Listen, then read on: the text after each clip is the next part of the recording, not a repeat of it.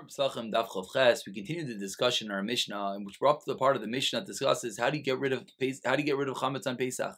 Rav Yehuda says you have to burn it the chametz that you scatter in the wind. So we first begin that where does Rav Yehuda know his din? Rav Yehuda's going to have three potential kal vachomers, and the chachamim are going to respond to each and every one, and as well the chachamim are going to have a response that even if you're right, you that you have to burn it, but it can end up with a kula that if you can't burn it, someone's not going to end up burning themselves of chametz. Then we're going to go into the opinion of the chachamim that you have to, you can even scatter in the wind or in the ocean. Do you always have to crumble it before you scatter it, or is that only when you do it in the wind? We're going to begin a new mishnah which discusses chametz shavuot of Pesach, that of a guy is mutter, of Israel is aser. We're going to have three opinions: Rav Lili, Rav Yudan, Rav Shimon. None of them are going to fit with the mishnah. Then we're going to discuss machlekes Rav Yudan, Rav Shimon when chametz is aser in erev Pesach, is it from the sixth hour, the time of the shechita of the Korban Pesach, or is it at night, the time of the eating of the matzah? So we begin on Chavzayin Mabeis that the Gemara says, Rav Yudah says you have to burn the chametz. Where does Rav Yudah learn that out from? The first attempt says Rav Yudah is nicer. Nicer, you're not over and Bali Rabali Matzah and you have to burn it. Chametz which you are over, you shouldn't have to, you should for sure have to burn. The Cham's response, which will always stand, and says the Chachamim, you can never say a chaymer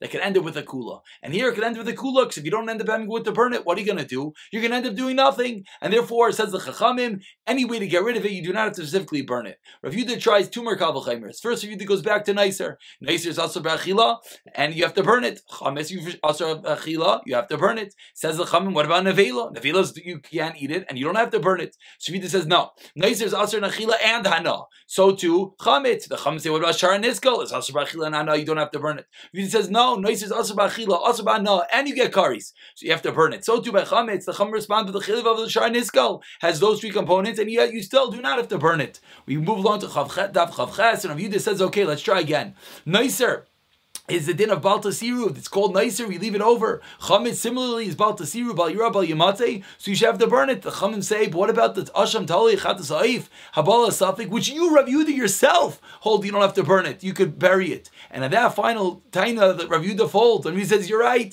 I myself hold that you could bury it. For my own response, I'm going to be destroyed. And the Gemara brings a bunch of analogies proving this. The arrow maker is destroyed by his own arrows. The shackle maker is chained up with his own shackles. We continue in the Mishnah, the Chachamim say you, you could scatter it in the wind. The question is, when you scatter it in the wind, you scatter it in the sea, do you have to crumble it in both cases? Or only in the wind do you crumble it, but in the sea you do not have to crumble it? We try to bring a raya from Avodah Zarah, and Rabbah says that it's mistaver that Avodah Zarah that you go into the Yam Melech. That's the reason why you do not have to grind it up. But chametz, which you go into any other ocean, you have to, yes, grind it up. Rav Yosef said, no, the exact opposite. Chametz, what happens when you throw chametz in the ocean? It gets disgusting. So you don't have to, you don't have to, you don't have to crush it up. But if a Zara is not getting disgusting in the ocean, and therefore maybe you'd have to grind it up. And the Gemara brings proofs to both opinions of Rabbah and Rav Yosef. We begin the new Mishnah that discusses Chametz Avil of a Pesach of a guy is mutter of Yisrael is going to be Aser. The Gemara says this is not conform with the opinions of Rav Yehuda, Rav Shimon, or Rav Yisek Lili. Rav Yehuda holds that Chametz is Aser before Pesach, after Pesach, and on Pesach. Just on Pesach, not only is there lav, there's also karis. As we move along to Dav Chavchas, we see the opinion of Rav Shimon. The Rav Shimon holds that Chametz is only Aser before Pesach and after Pesach. I'm sorry, chametz is mutter before Pesach and after Pesach, and it's also on Pesach. Yisrael clearly holds that it's mutter even on Pesach. The Gemara says, when is chametz aser? Rav Yudah says from the sixth hour, from the time of the shechita, as we learn leisechel Allah, the time that you're shechting is the same time that you're in eating chametz, the sixth hour on erev Pesach. Rav Shimon says no, for the fact that the Torah put that pasuk next to the pasuk of matzah teaches us that at the time that you have to eat matzah, that's the time that you cannot eat chametz anymore. The Gemara then continues, and within this kal vachomer brings down the opinion of Lili, which teaches us that on the year they went out of Mitzrayim, there's only an Isra of Chametz of one day. But we conclude with the Gemara saying, what is how does it view the answer of Rav Shimon? It's a good question. The Torah put the not eating of Chametz together with the eating of Matzah. So the Isra shall only apply at night. On that review, that says no. You know why the Torah put them together to teach you that not only was there a Chiyav to eat Matzah, when there was a Chiyav Tikar Pesach, but there's a Chiyav Matzah even Bizman Hazeh, we know that from the fact that there's always an Isser